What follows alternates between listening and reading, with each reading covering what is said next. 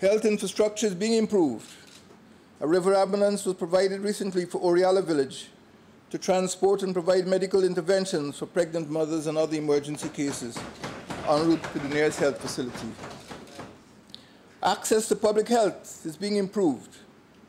Maternity waiting homes have been commissioned to make accommodation for high-risk pregnant mothers, particularly those from the hinterland regions.